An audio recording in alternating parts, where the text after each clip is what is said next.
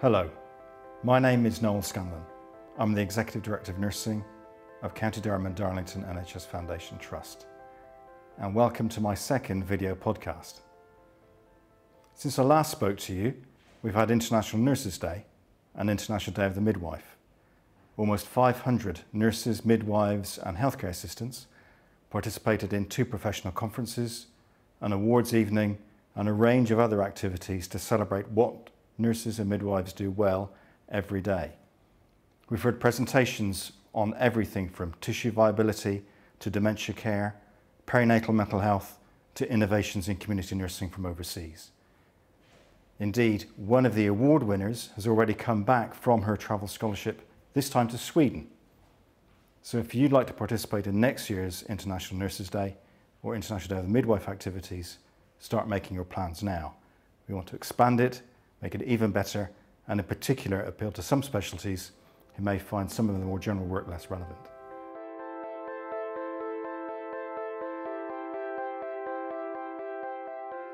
This has been a difficult time over the last month for all of us. We've had terrorist outrages in Manchester and London and a dreadful fire in North Kensington. What does that mean for you? Well, our emergency plans are well prepared and rehearsed with our partner agencies. But we should also be cognizant of the risk of seeing extremist behaviour in our midst. Have you had your prevent training lately? If you haven't, please speak to your line manager. And if you have concerns around people's behaviour in any way, please escalate that. Individuals have been reported to the authorities, both patients and staff, and they have been taken seriously. It's led to investigations and the reassurance that what we've observed will be taken seriously and be acted upon. This far into the financial year, we've also seen something of a rise in healthcare associated infection. Many of these infections arise in complex patients who are having very complicated treatments, but the basics remain. Adherence to hand hygiene protocols, for MRSA, screening, anti-colonisation treatment, not being just prescribed, but ensuring the patient does actually take it.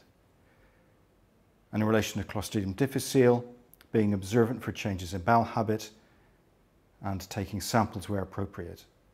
We have made some simple errors, such as sending specimens in the wrong container, or in some cases not screwing down the lid of the container, which means that the sample has spilled and couldn't be processed. These things lead to delays in treatment and can be very serious.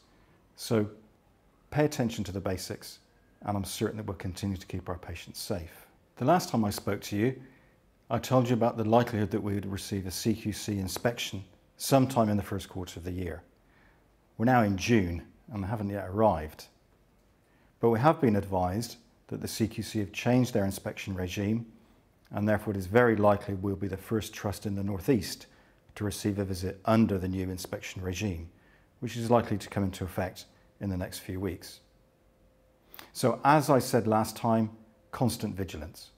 We need to be ready for when the inspectors come in order to show them what we do well and celebrate what we are excellent at and not be afraid to be very forthcoming when asked about the excellent care we give every day. Finally, last time I also spoke about never events.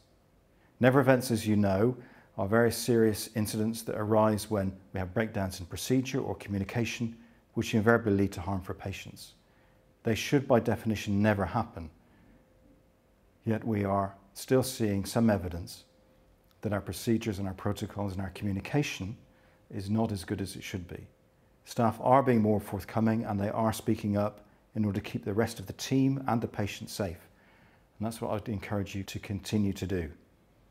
Report, observe, speak up, and make sure that everyone is performing care to the best of their ability. Where you have doubts, share those uncertainties. We're only as strong as the weakest member of our team. But as a team working together, we can improve, we can show that we can deliver safe, reliable care all of the time. Until I speak to you again, thank you very much for listening.